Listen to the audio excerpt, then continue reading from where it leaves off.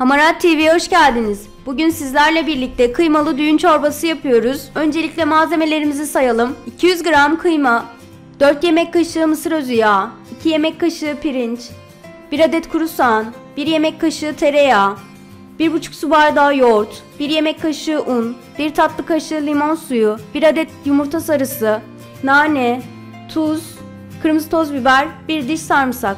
Yağımızı tenceremize alıyoruz. Doğradığımız soğanımızı ve sarımsağımızı alıp hafifçe kavuruyoruz. Kıymamızı ekleyip kavurmaya devam ediyoruz. Yıkadığımız pirinçlerimizi ekliyoruz.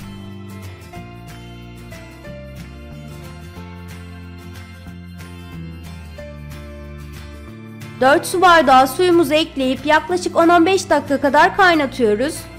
Biz bu arada terbiyesini hazırlıyoruz.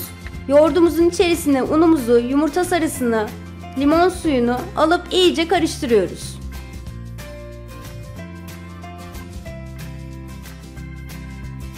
Yoğurdumuzun kesilmemesi için kaynayan çorba suyundan bir miktar üzerine ilave ediyoruz.